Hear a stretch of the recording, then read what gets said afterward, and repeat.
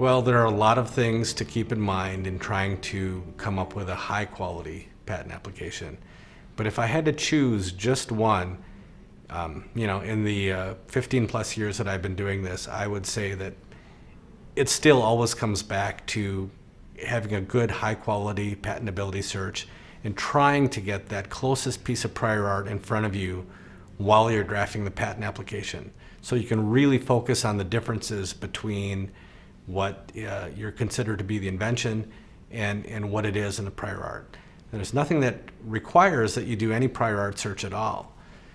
Um, but if you really want to get a high quality patent, that is money that is uh, well spent up front to really accomplish that objective.